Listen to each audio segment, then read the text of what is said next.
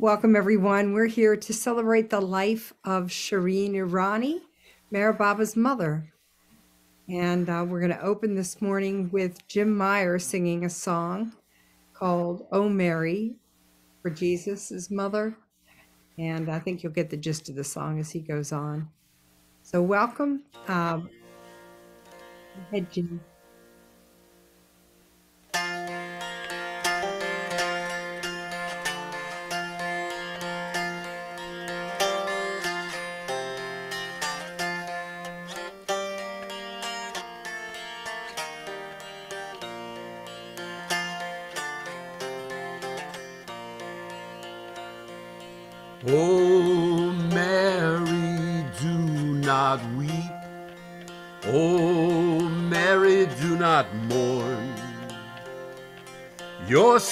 Jesus can never die.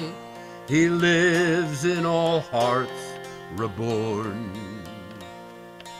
Oh, Doug Dover, do not mourn. Oh, Doug Dover, do not cry. Your son Zoroaster is the fire of love, and he can never die. O Kaushalya, do not weep. O Kaushalya, do not grieve. Your son Rama is alive and well in the hearts of all who believe.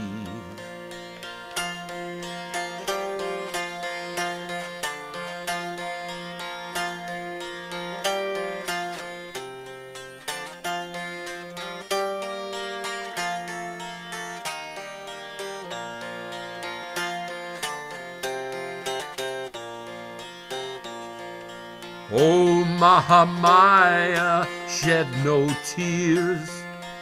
O Mahamaya, do not cry.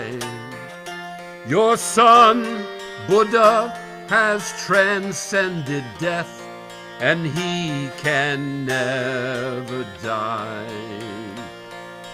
O Devaki, do not fear. O Devaki, do not weep. Your son Krishna is eternally alive, arisen from illusion's dream of sleep. And oh, Amina, don't be sad. Oh, Amina, do not cry. Your son Mohammed has merged in Allah and he can never die.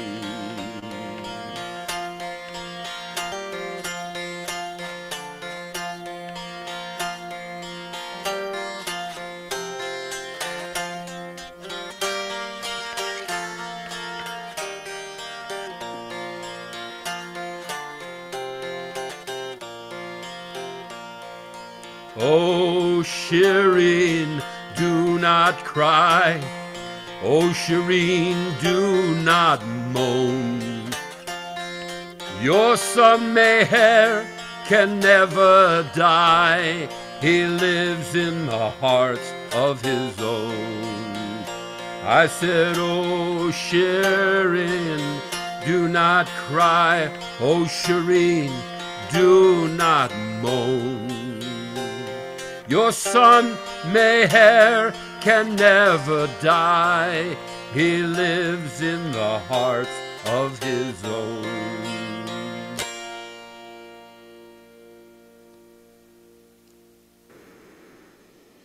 Beautiful, Jim, always. Thank you.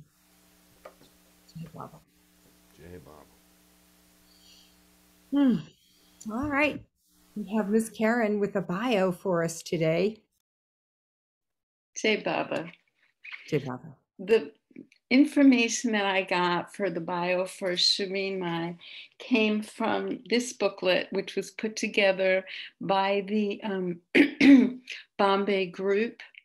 And there's also another booklet on Sheriarji. So, and also some of the information and dates are from Tony Zois's travel blog. Okay. So she was born in 1878 in Bombay. Her parents were Dorab and Gulandun. She had one sister, Dowla. She married Shariar Mundagar Irani. She had nine children. Jamshed was the first, then Merwan, Baram, Jal, Adi Jr., and Mani. There was someone, a, a babe called Shamund, who died at seven months. Jahangir died when he was two, and there was a daughter, Franey, who died of the plague as a small child in 1902. She passed on Baba's birthday, February 25th, 1943, in Pune.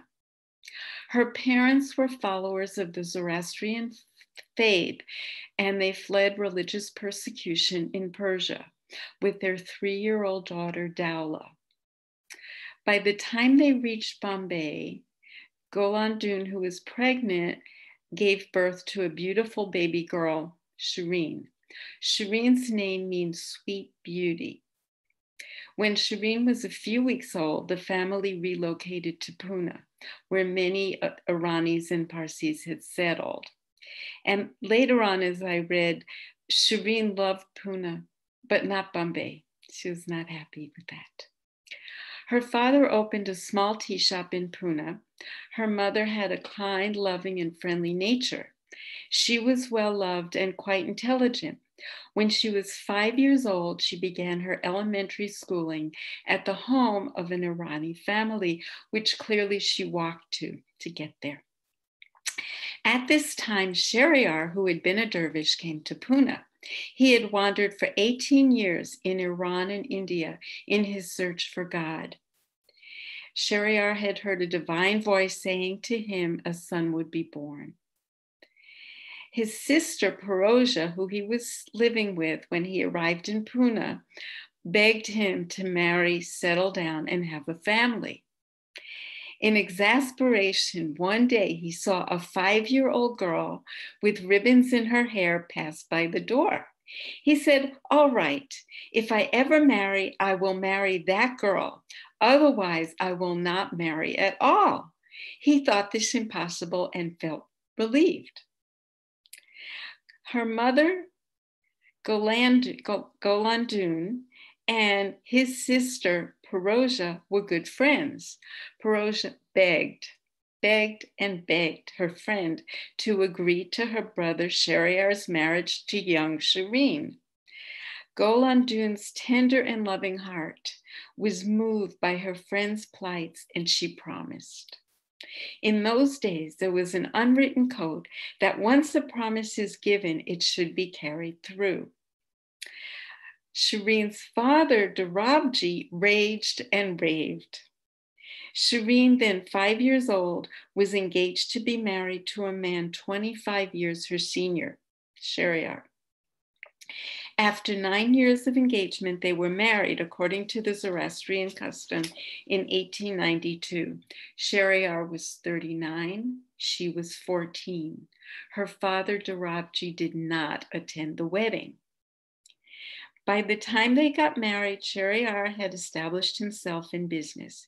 In 1893, Shireen was 15 and had their first child, Jamshed she did not feel maternal. She was quite young at that time, and he ended up being raised by her older sister, Dowla, and Dowla's husband, Faradun. Her, a few months after Jamshed was born, she became pregnant once again. This time she felt the natural joy of motherhood. She would often have wonderful dreams. Shariar recollected the divine voice, knew that the child was going to be he whom you seek, he whom you wish to serve. His attainment is not destined for you. Your son, it is your son who will attain it, and through your son, you. Early morning, Sunday, February 25th, 1894, Shireen Mai was at the David Sassoon Hospital in Pune, and she had a vision. She saw a glorious person like the sun sitting in a chariot, and his cool brilliance pervaded the atmosphere. Her mother, after hearing about the vision, said, A very auspicious son will be born to you. His name will spread all over the world. Thousands of people will, be, will carry him in grand possessions, processions as you dreamt. He'll be given special reverence and honor. Sheriar was outside the room taking the name of Yezdan. Shrimai's father, Dorabji, had been so opposed to the daughter's marriage, he had actually forbidden Sheriar to visit their home. However, after Merwan was born, he had a change of heart and he would go visit the infant Merwan every single day. Gradually, he began looking upon Sheriar with love and respect.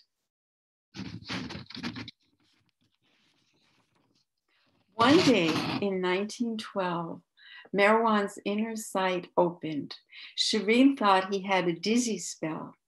She wanted him to become a doctor, lawyer, or engineer, become rich, travel abroad, marry, and have a family.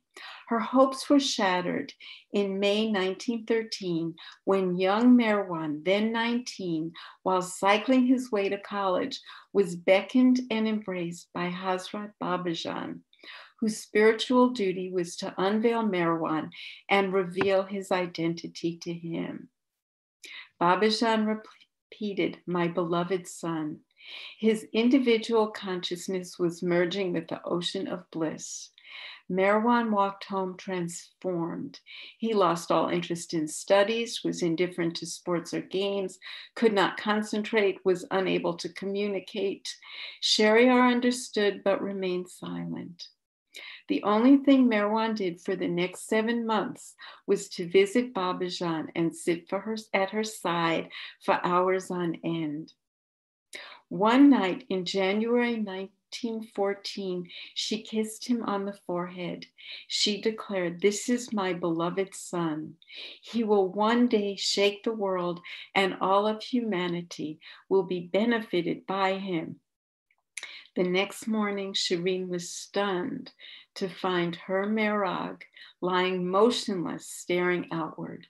She was extremely worried when he remained in this coma like condition for three days. He began to move on the fourth day. They called the best physicians. For the following nine months, Merwan lived without sleep and without eating any solid food. He began banging his head. Shireen wept bitterly. Her hopes and dreams for Merog, her son Merog, were shattered. Marwan began visiting saintly persons and places of pilgrimage. He would not tell his mother as this would disturb her, but he confided in his maternal aunt, Perosia, who was in fact Pendu and Naja's mother. Shireen still wanted him to get a job, get married, not waste his life visiting saints and holy men. At that time, World War I was in full force. Merwan, so exasperated, told her he was going to join the army. Hearing this, she became fearful and subsided in her demands.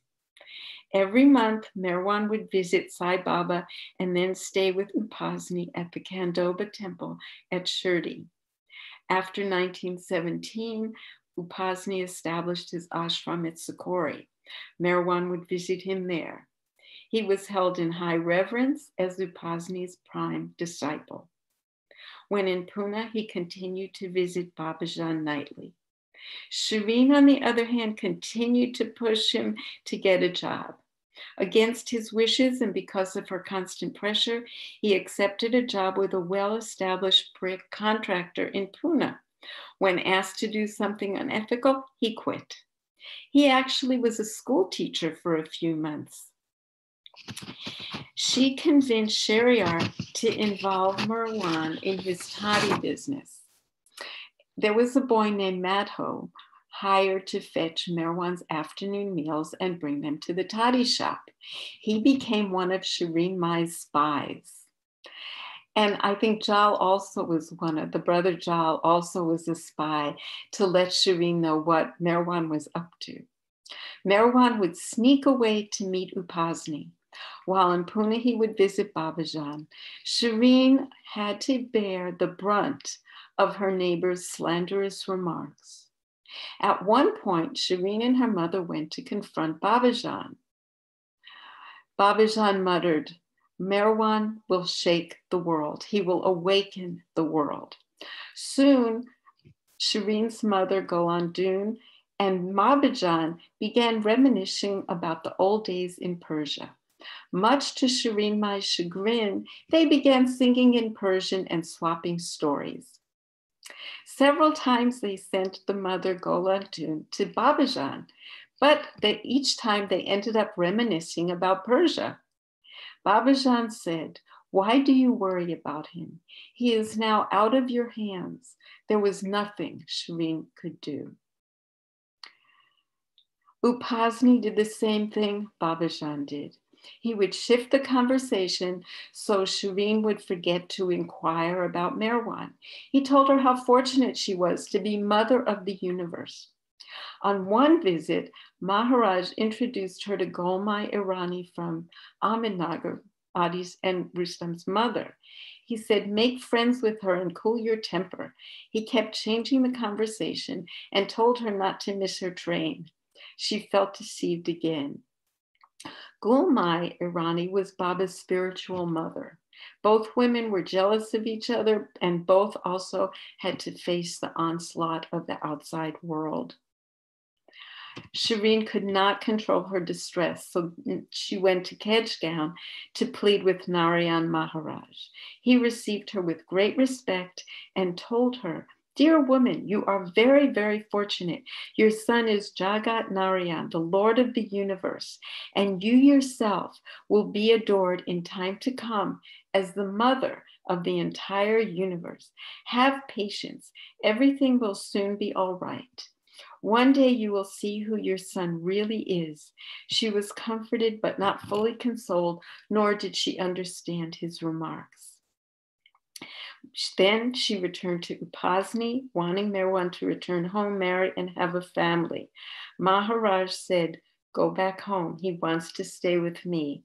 He embraced her and gently said, I bow to your love for Merwan. When she returned home, her heart was broken. She returned to Sakori, same thing. She actually suffered a nervous breakdown and her health deteriorated. She stayed in bed and was disconsolate. Weeks passed with no sign of recovery. Sheriar thought she might die. One day while she was sleeping, Sheriar saw the door open by her bedside and two figures approached her bed. One resembled Merwan, the other Sai Baba. Afterwards, she awoke and for the first time in weeks spoke clearly, asked for water. She became well and normal again. After Marwan began, began to be recognized as Meher Baba, she too started looking up to him reverentially. Sheriar died on March 24, 1932. After his death in April 1932, Shireen Mai and Mani came to Baba to discuss family matters.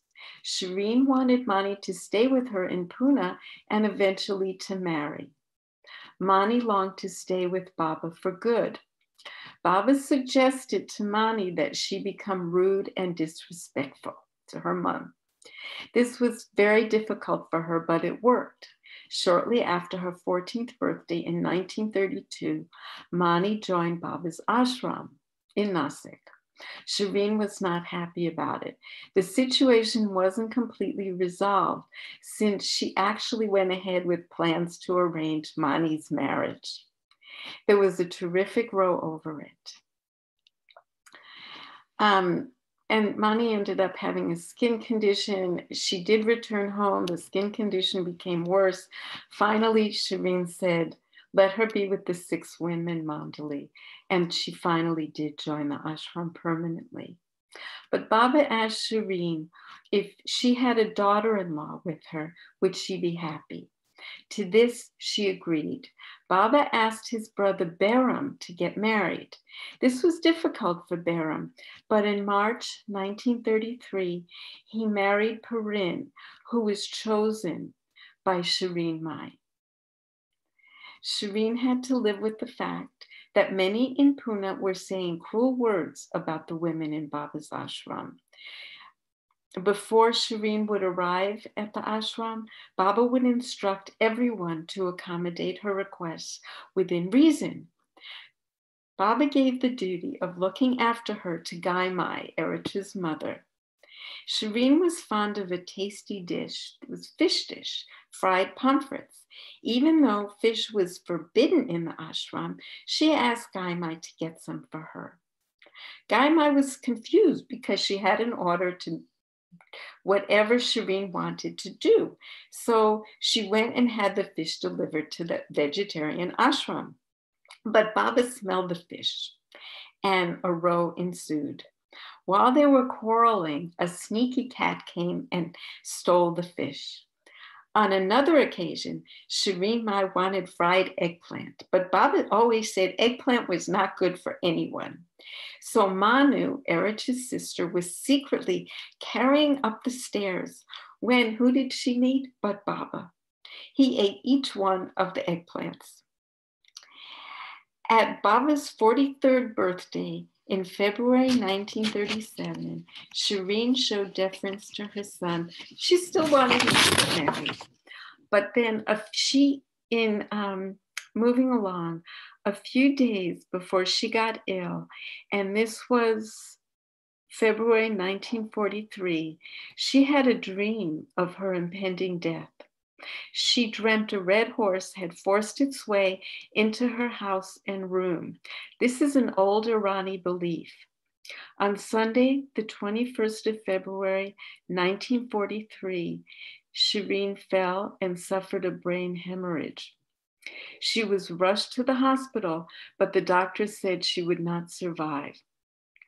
She was brought home on February 25th, 1943, Baba's birthday. Still unconscious, she passed away that night at 9:40 p.m. It was Baba's 49th birthday. Baba received a telegram of her passing. Her funeral was held the next day and her body brought to the Tower of Silence. Gai Mai, who was standing beside Shireen Mai at the last, clearly saw a stream of tiny golden hands emerge from Shireen's nostrils and hover over her, over her like butterflies, lastly followed by a full-sized pair. These golden hands all circled over Shireen before they slowly floated up and away out of sight. Baba's final remark was, She is now freed. When he returned to Pune two days later, he entered the family home and told his brothers and sister in law, Memo has come to me and is now fully in bliss. She helped me so much in my work, and after playing her part, she has come to me. She was an exceedingly adventurous woman and extremely fearless. Now I'm going to say a few words that were said by others about Shireen. I'm going to start with Mani. Mani remarked, My heart would often go out to mother. She endured a lot for the sake of her son, who she loved above all, the son she referred to as my most beautiful child. Being God's mother is no joke. By her son's grace, mother played her role well. Shariar um, Mani recounts, I love to see my parents sit together in the evening reading the Shahnama, Persian history. Shariar taught Shireen to read and write Persian. She learned much of Hafiz by heart. She had to be practical. Mani groaned, Oh, my poor mother, having a dervish for a husband and God for a son, and having to raise a big family. She had to be practical because her husband would give money and things away to anyone in need. She loved Pune. Pune is a corner of heaven, she would say. She had a good sense of humor and loved to talk. There were no cinemas in Pune, but she never missed a good play. She didn't know much English. She was sharp witted with innate intuition and keen intelligence. She loved to travel. If a train left at 7 p.m., she was there at 5:30 p.m. If rent was due on the 1st, she paid it on the 28th. Later in her life, she had to be carried in a lift chair. From Norina Matchabelli, she said, Shireen had dignity in her bearing and speech. Even when asleep, Shireen is the queen. Here's what Mehera said about her. And she said, and Mani had said, Shireen, my love Mehera, and was nice to her. Mehera too shared a deep bond of love with her. Mehera observed, Shireen Mai could be strict and bossy, but at times and at times become upset. But most of the time she was very loving. She had a very keen eye and was quick to judge someone and to tell Baba what she thought. I thought it was really nice that they had a very nice relationship. And here's what Shireen Mai said. Of being the avatar's mother, Shireen said, never be the avatar's mother. It is a miserable existence. Haven't you seen my plight? How outsiders insult me and do not let me live in peace.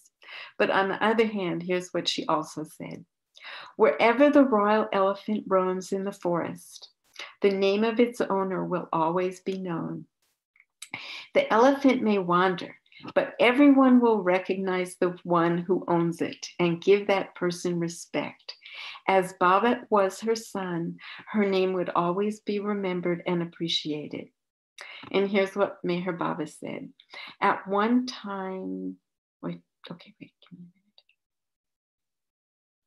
minute. Baba had great respect for his mother and loved her dearly. Baba declared later that Shireen Mai was of great help in his spiritual work. Now Memo is quite happy and free of worldly ties. Baba ordered a memorial for Shariar and Shireen on Meherabad Hill, and this work was carried out in June 1943. When the memorial was ready, Baba, with his own hands, placed a few of their personal effects in it. Shariarji's silver snuff box, and Shireen Mai's eyeglasses. Baba dictated the inscription on their tombstone. In eternal memory of Meher Baba's blessed parents, Shariarji and Shireen Mai, who are now merged in Baba's infinity. Jai Baba. And I'll also add that each year on Baba's birthday, Mani would place a garland on their memorial.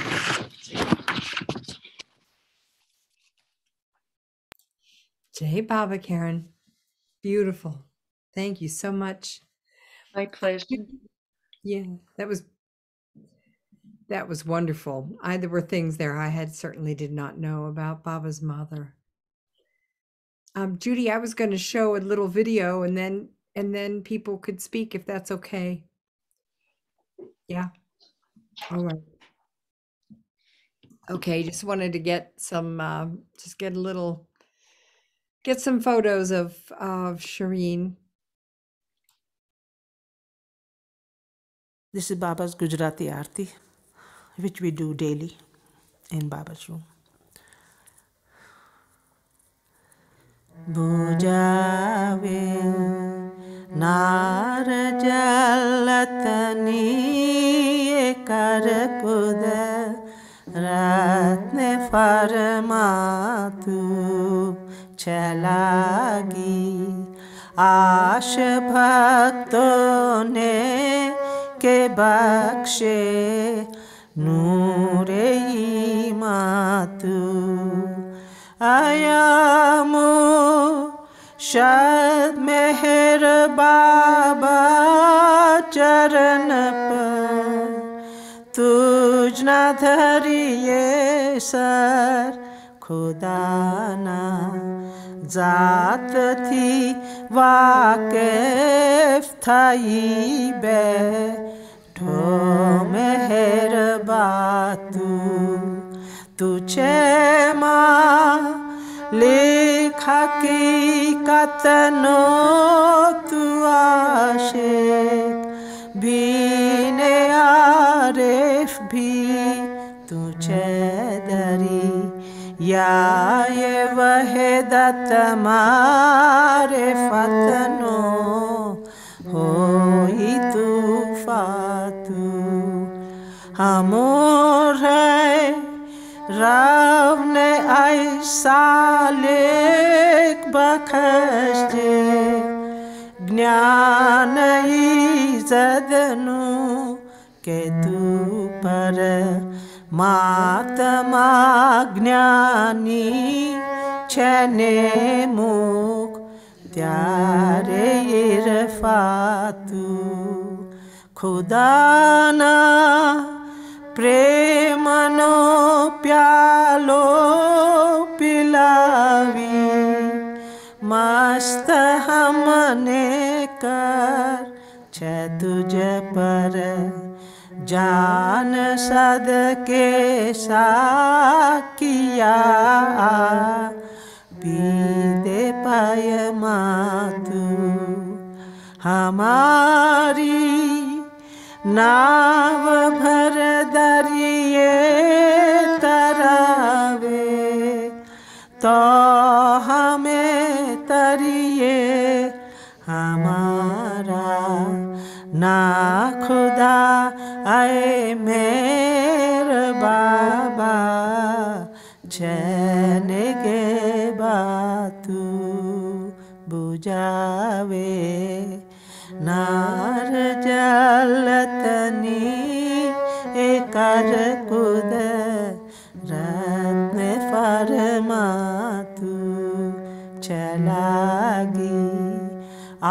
आश भक्तों ने के बख्शे नूरे माथू Beloved Avatar Meher Baba ki jai.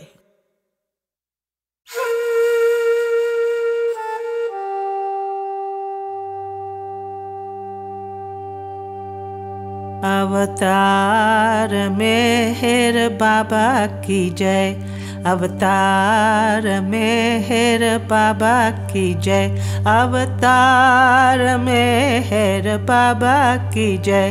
अवतार मेहर बाबा की जय। अवतार मेहर बाबा की जय। मेहर बाबा की जय। मेहर बाबा की जय।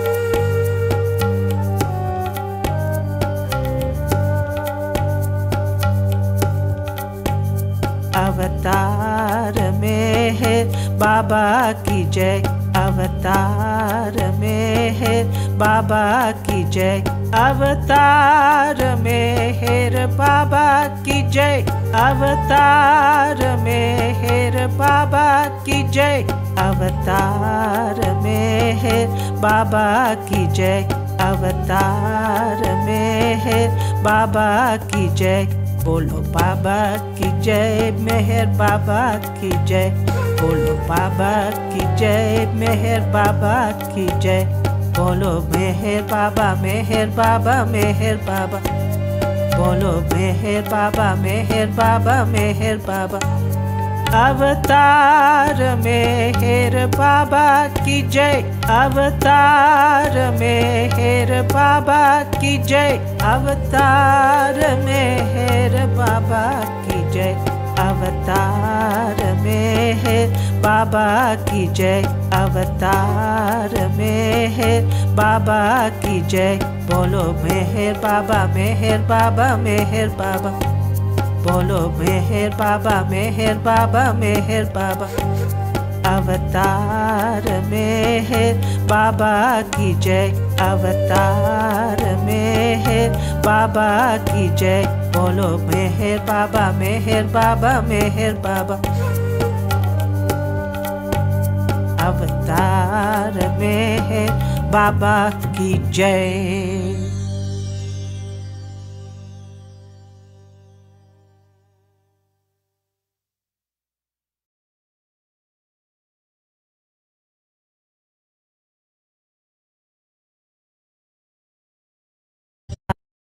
difficulties there. All right. Um, I know Judy had her hand up, so I think she had something to add. Judy, go ahead. Yeah, Jai Baba, everyone. And thank you, Karen, for your beautiful bio. Um, I happen to be present a number of times, several, many times, um, in Mandali Hall or on Mehera's porch or elsewhere, when someone would ask Mani about her mother, Shireen, and Mani would stop the person in mid sentence every single time and sort of stand up a little straighter and say, My mother was the mother of God. She is to be known as Shireen Mai. She would emphasize that honorific um, for mother, which is mai. Um, and she said, and she would do exactly the same thing with her father, Shirier G, uh, if because people so often ask about Shirier, and she would stop the mid sentence and say he was the father of the avatar of this age. Show him the respect to always, always say Sheriarji. Um, and she did not use her sweet voice when telling the individual, and it didn't matter who it was. She was consistent every time I ever observed that. And um, sometimes she would uh, expand and talk about um, the greatness of her parents and the role that they played in the advent of the avatar of the age as the mother of the avatar and the father of the avatar. Um, and emphasize what a, a great and essential role that was. Um, and so I actually, when I first saw, I think I got a something in my email saying, you know, highlights of the week, and it was noted, you know, and I thought, oh, Shireen, Shireen Irani. Oh, that must be um, uh, Baba's. There, it's going to be a meeting about Baba's niece, um, Shireen Irani, who later, when she got married, became Shireen Bonner, because it literally never occurred to me that this meeting about Shireen Irani would be about Shireen Mai.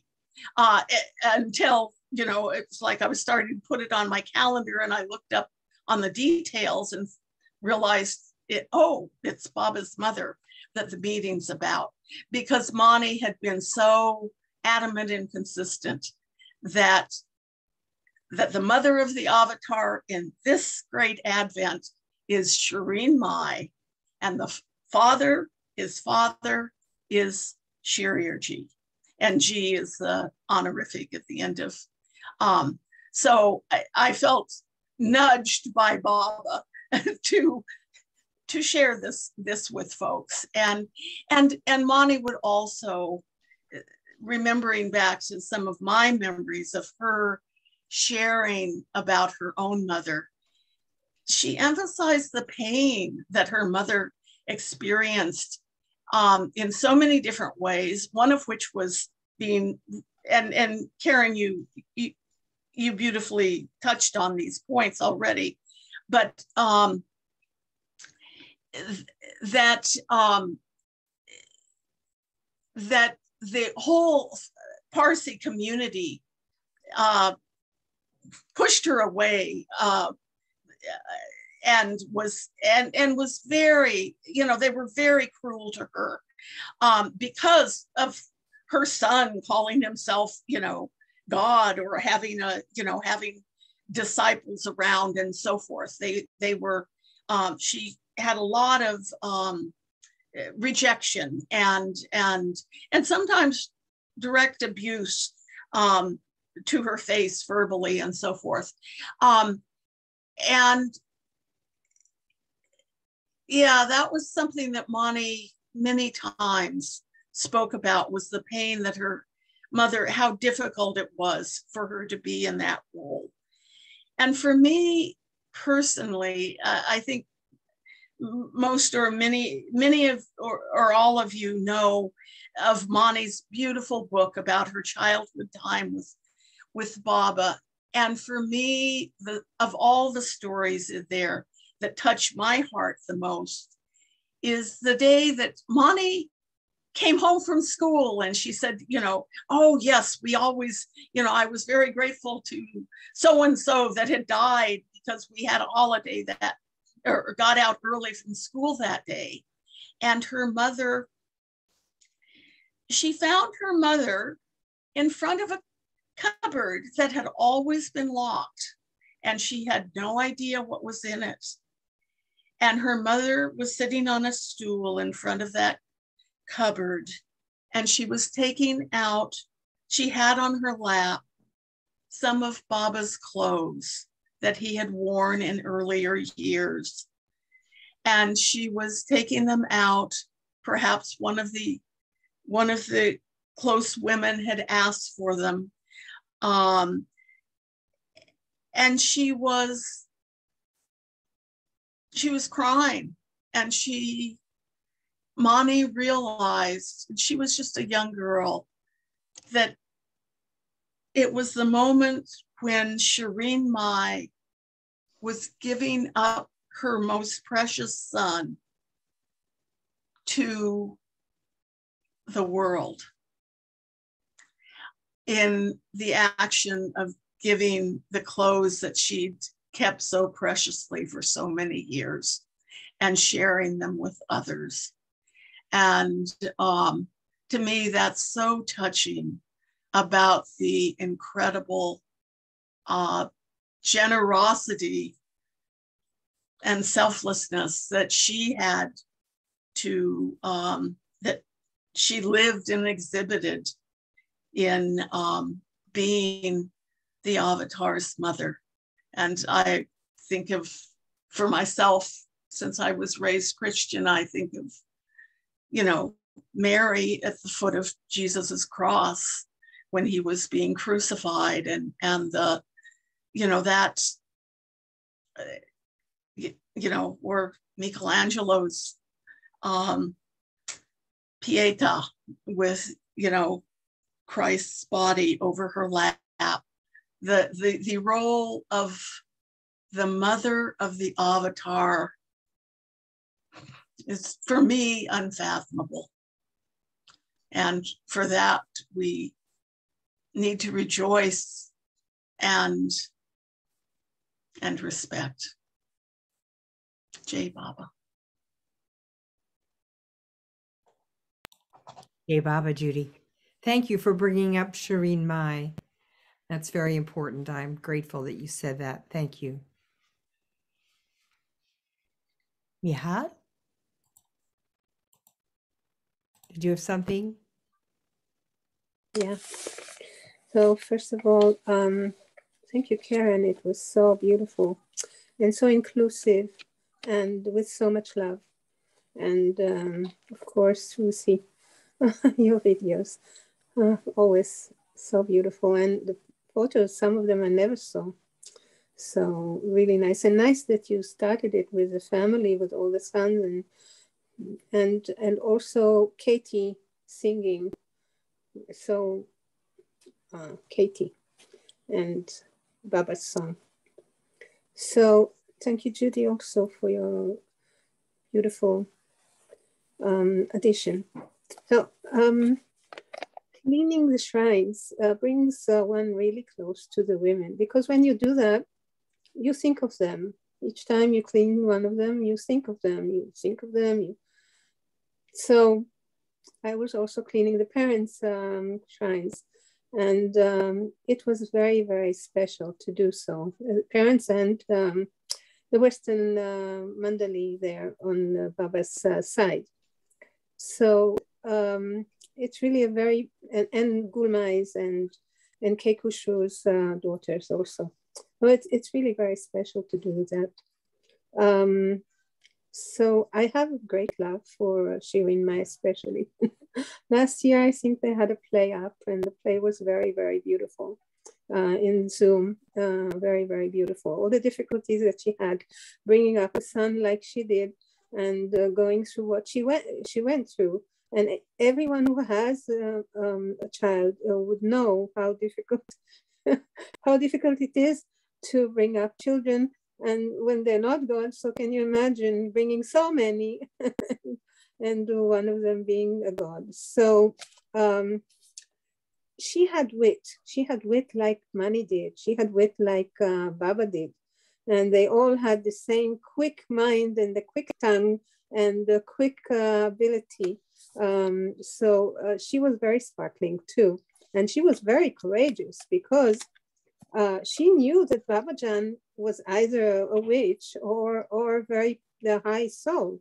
And she knew that uh, Upasni Maharaj was a very high soul, considered to be. And still she went out there to fight with him, to fight over her son. So she was really courageous because uh, going to such personalities and um, going into a fight with them can be very detrimental.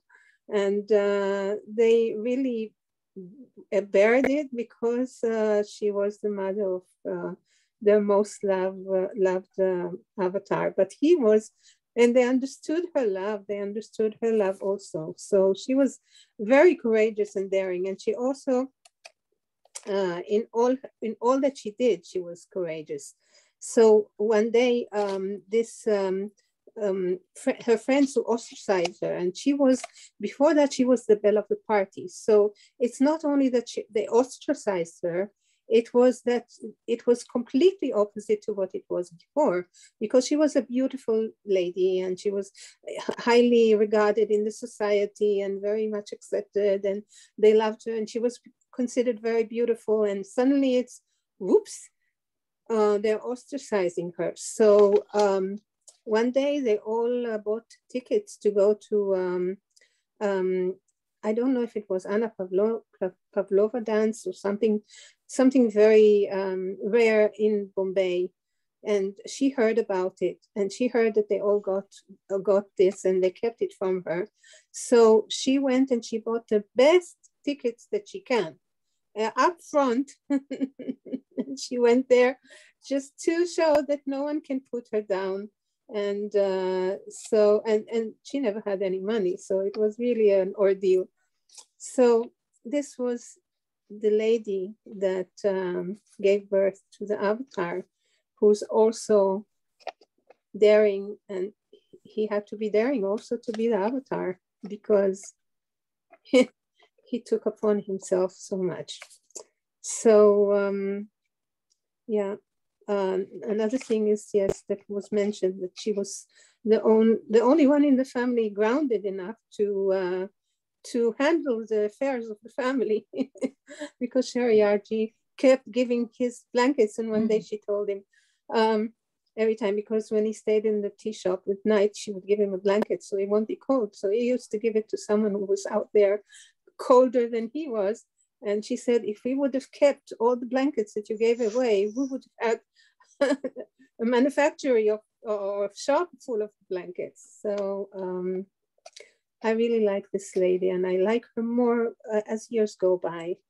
Um, she's very special, and I'm very thankful um, to her to be um, the mother of the avatar. Thank you. Thank you, Shireen. Shireen Mai. Thank you, Michal. Yeah, great stories that you remembered. Thanks for bringing those forward.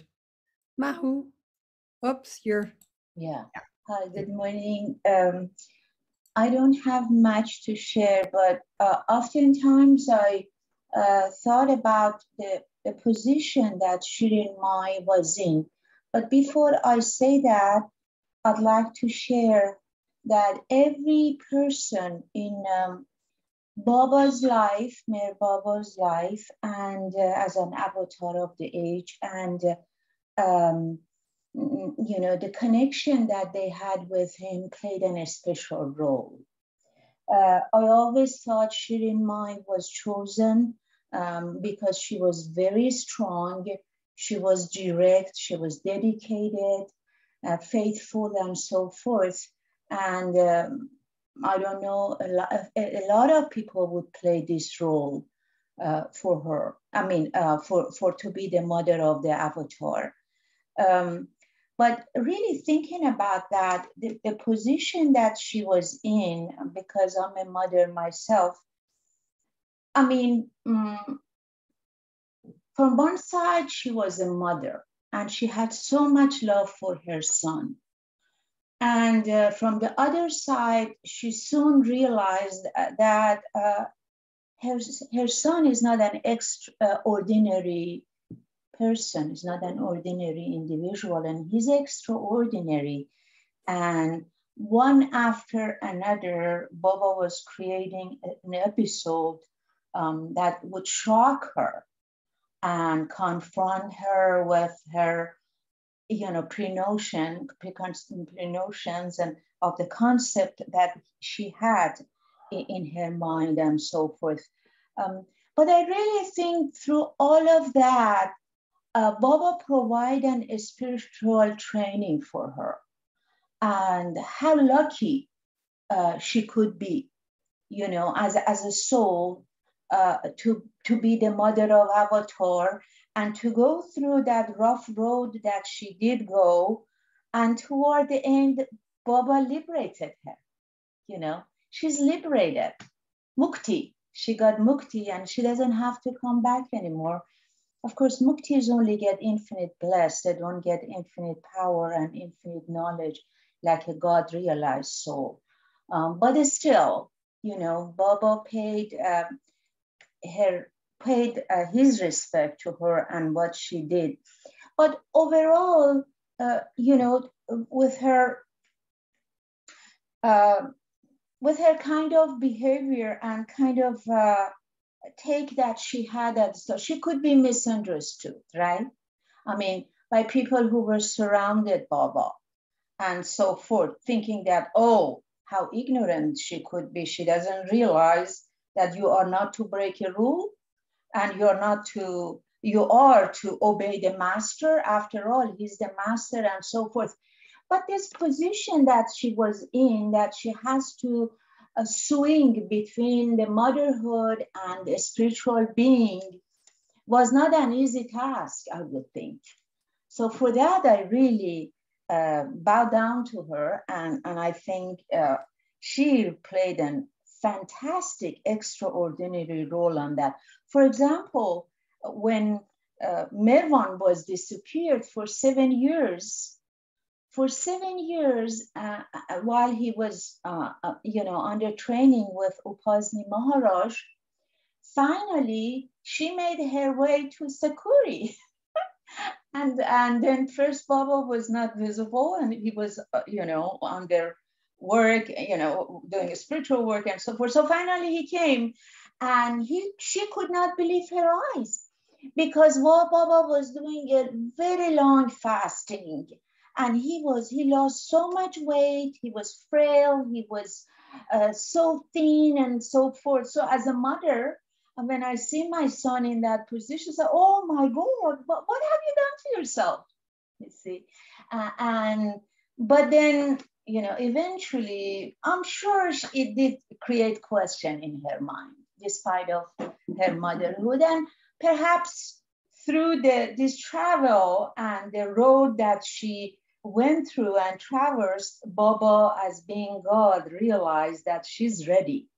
She's ready to get liberation and be freed from this world of illusion. And he gave it to her so generously. So I'm grateful to know Shireen Mai. Jai Baba. Jai Baba. That's wonderful, Mahu. Thank you. Yes, I, I do salute the spirit of that woman that was Baba's mother, Shireen Mai. She had that feisty nature that speaks to me. So I um I'm grateful for all the stories that everybody's bringing. All right. Does anybody else have anything they'd like to to say, to offer? It's noon. It's Baba time. We can all dress our souls with Baba right now. I could, um, I, I have a small comment, um, thinking of the role of the avatar, the, the mother of the avatar. And I'm remembering, um, Eruch when, um, when Baba, um, revealed that Guy Mai, Eruch's mother, um, would be the mother of the next avatar. Erich said, No, no, please, Baba. He literally begged Baba um, to take that role away from his beloved mother um, because it was so filled with pain and challenge and, and difficulty. And Baba, you know, just shook his head. It's like, nope, it's, you know, it's already planned and, you know, um, it's, you know, he that was that will be the fate of Gaimai in 700 years. Um, but I, I remember Eruch's really heartfelt reaction uh, when he would share about it, uh, that he really, understandably, did not, you know, it's, well, as, as we're all saying, there's so many different aspects to it but it definitely has great pain um, of on different levels that's involved with that unique but must be so amazing role to play for for anyone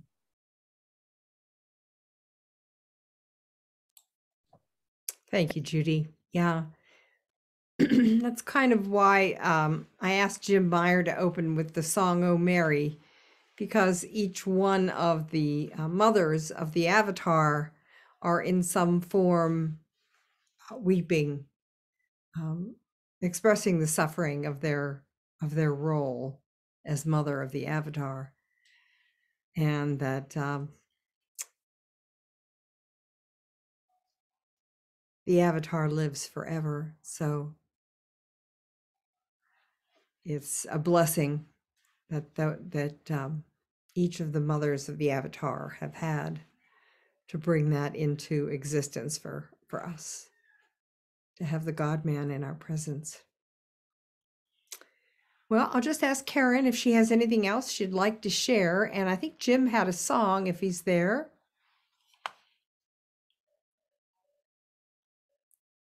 you're still muted darling Go ahead, Karen. Oh, I just muted you again. Go ahead. You have to unmute. Do it. Now I can do it. Okay. Can you hear my voice? All right. Yes. I do have a few things. One is that I do remember, as Judy mentioned, being in Mandali Hall and um, Mani, someone might have asked, but, and she spoke for a long time about her mother.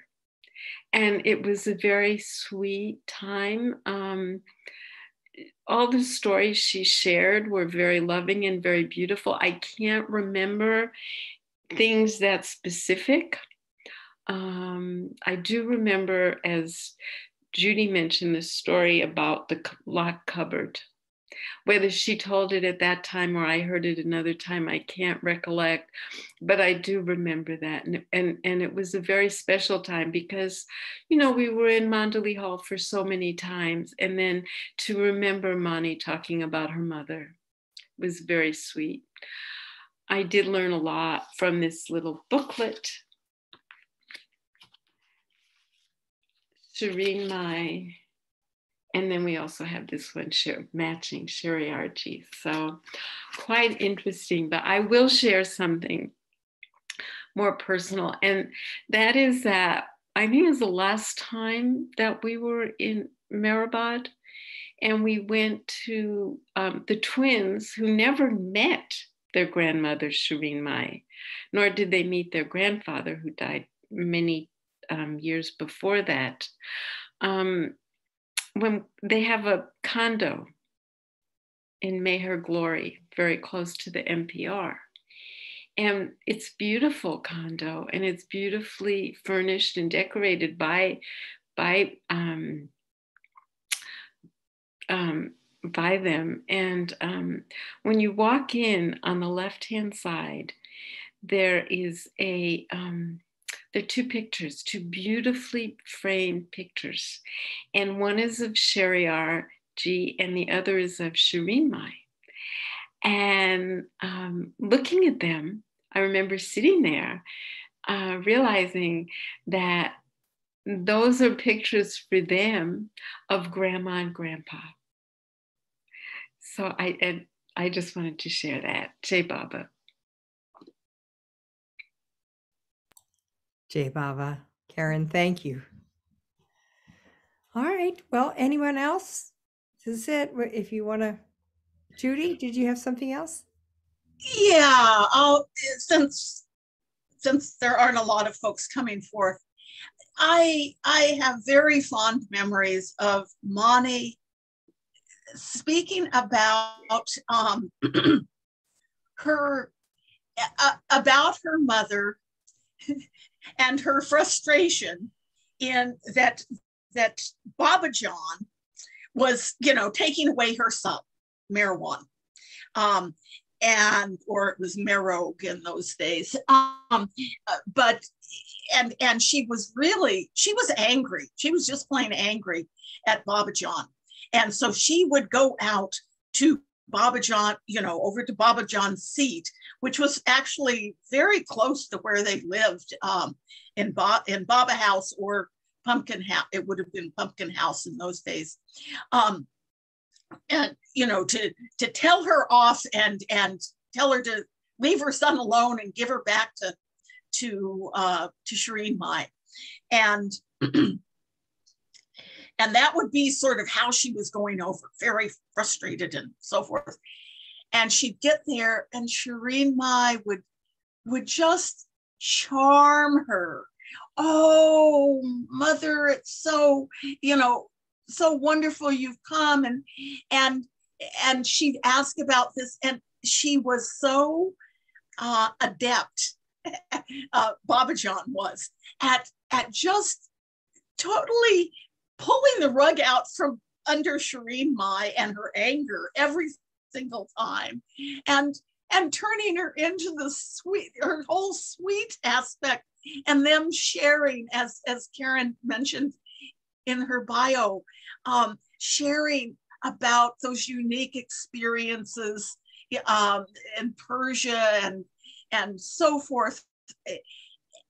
And and then then there, you know, she oh, oh, it's time. Oh, you've got to go home for, you know, and oh yes, and Shireen I would kind of wake up from from this lovely sharing that they were doing together. And yes, I've got to get back to whatever it was next. And and then she go back home or wherever she was going and all of a sudden she realized i didn't i didn't succeed again she tricked me again and and uh, anyway Mani had such a beautiful way as you all know of of sharing these stories. I can't begin to do justice to it. Um, but it was quite delightful you know that that loving trickery of of um, Babajan to keep Merwan on the track of becoming, you know, uh, the unveiling uh, and integrating uh, Baba's consciousness uh, so that he could perform his his role as avatar. Um, but anyway, and, and every time she felt tricked, and I it really actually is what comes to mind that's never come to mind before is Lucy with the football and Charlie Brown every time. Um, but at any rate, it, and but remembering Mani, um, who, right, Mani and Eruch, two greatest storytellers of, you know, I've ever met. Um, and Mani particularly delightful. So I have that. Jai Baba. That was great, Judy. Thank you. Jai Baba. Beautiful. Miss Elizabeth. Hi there. I, I got here a little late because I had some other things to do, but uh, I wanted to remind people of the film that um, the video that Joe DeSabatano did on Shireen Mai's life, which really is an excellent way to get a taste of what she was like. And the other thing I wanted to, it's on Bobby YouTube. Um, the other thing is um, the the whole idea of this mothering and what what is the mother of God like, and um, for some reason, uh, Julian of Norwich has been brought to my attention in the past two weeks, and of course, she was the anchoress in Norwich, England, between um, well, she she lived from thirteen. I think 43 until about 14, 16. She was the first woman um, author and first woman theologian in English writing. And she um, she got sick when she was about 30 and she almost died. And um, she had these visions of God, of Jesus. And um, her writings are now known as the, Revel- the Revelations of Divine Love. So, you know, I was really interested in what she was saying. I had read about her in a historical novel and kind of looked at it a few years ago, but I looked at it again and on Wikipedia, you can actually see what some of the revelations were. And one of them has to do with Mary. That's the whole point of this. The mother of God. And she got to know what Mary's essence was, which I thought was very interesting. Um, you know, I probably would have to find a book. You can get it from a library. Uh, and I think I checked it out once before, but I need to review it. But um, what what is the essence of the one that becomes the mother of God? It was some special thing, and she also um, talked about Jesus handing her a hazelnut, and to me, it reminded me so much of God speaks and she actually talked about, you know, Jesus saying to her that creation came out of love, like this hazelnut did. And that, um, and she realized that God created out of love, He maintained it, sustained it out of love, and ended it or transformed it out. So she was actually talking about the concept of Ishwar, even though she doesn't state it that way. But in any case, um, it's just very interesting what she said about divine love. And of course, it's consistent with what Baba has said and the revelations about Mary and about Mother of God, which I can't imagine that that job, you know, that doing that role in the hierarchy. Jai Baba. Jai Baba Elizabeth, thank you. Thank you. Beautiful. All right. Well, I think we're kind of winding down, and um, I think we could end with the song if Jim would like to do his his um, song to close. Okay, so here's an interesting song. It's a stream of consciousness song, um, and it takes in a lot of what we're talking about. So this is fairly new.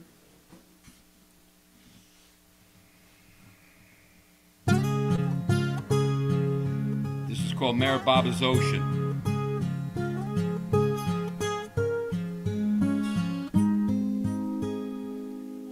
I got the call in Mandali Hall that my visa was accepted. It was revealed to me by my inner TV that I'd never be rejected. Well, I knew what to do. I packed my canoe and paddled out and ignored the world's commotion. I paddled out and gave a shout on my way across Meher ocean. Oh, I passed the place of time and space and headed for deeper waters. And there was no need for excessive speed. I was secure within my quarters. And there on the shore was souls galore. Some waved and some stood at attention. I sang a song and paddled on my way across Meher Baba's ocean.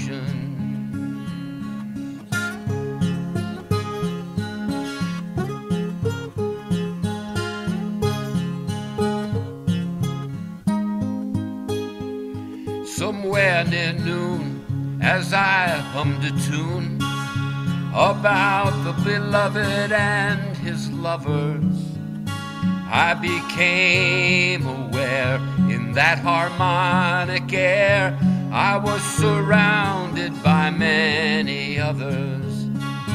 On my left and my right, in the bright sunlight, I saw a multitude in deep emotion. There were saints and sinners, losers and winners, all on our way across Meher Baba's ocean. And from my canoe, I saw Mani and Pendu lost in love's deep conversation. They smiled at me, and I felt with glee, just like a sadhu in samadhi meditation. I saw Eruch and Adi looking wise and free as they beamed in perfect devotion.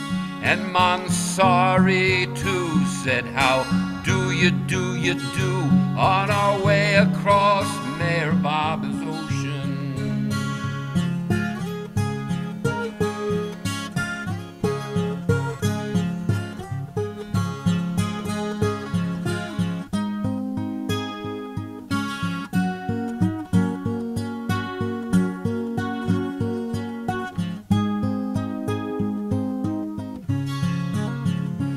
I saw Padri and Eric Nadell. They were laughing like hell as Mohammed the Mast was bending over.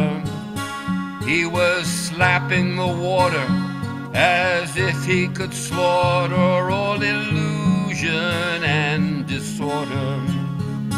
Well, I smiled a lot at Tom Riley and Lyn Ott discussing the art world's promotion. All were glad to be on that peaceful sea on our way across Baba's ocean. There was Darwin and Jean and Sheriar and Shireen and Norina, Elizabeth and Goher. I saw Frank and Irene and Mehera the Queen, most radiant as God's number one lover. And looking equally pretty was our own Miss Kitty, seemingly in perpetual motion. She was arm in arm with Francis Brabazon all the way across Meher Baba's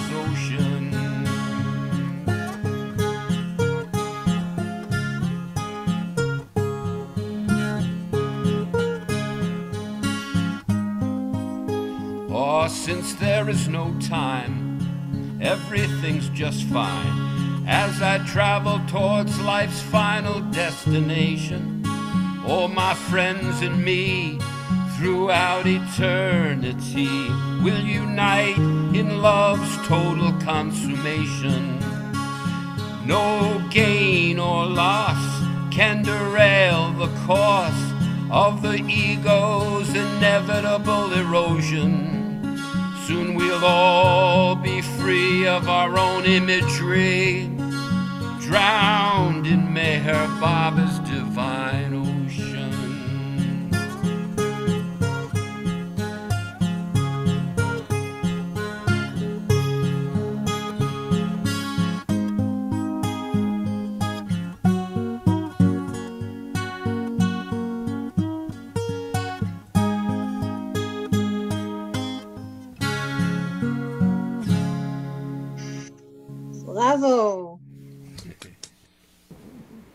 Yeah. Fabulous. Yeah. Yeah, yeah. Everybody's going to say it. I know. Sublime and delightful at the same time. I don't know how you did it. Just beautiful. Lovely, lovely. Well, Anybody so else? been, you know, we've been seeing so many of our dear friends go go on, Yeah. Mm-hmm. and I'm so happy for them. Yeah. I realized uh, when Bob Brown left um, almost 30 years ago that he got it and he didn't have to hang around anymore. I, on the other hand, looks like I'm going to be greeting se- severe old age. You You'll won't be alone. you go. Plenty of companions. Yeah. Well, let's have a moment of silence if we could together.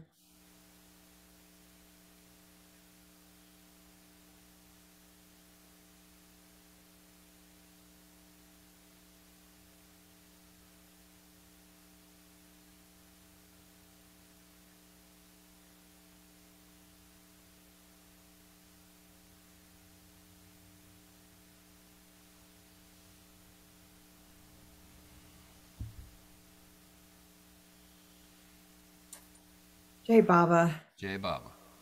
hey, Barbara, thank you. Thank you, you. everyone. And thank you, Ruthie. Yeah, and your beautiful slideshow and uh, that that it's whatever gives us an excuse to get together and celebrate Meher Baba and his love and however it manifests. So lovely. thank you. Jai Baba. Jai Baba, everyone. Baba Karen, thanks again for the bio. That was very enlightening. Beautifully done. Thanks. And for everyone who shared and for everyone who listened. And for Jim for coming on board and doing a few musical tunes for us. Mm-hmm. Just beautiful. Thank you. Jai Baba. And for Shireen being the cause for it all, mother of the avatar. Shireen Ma, yes.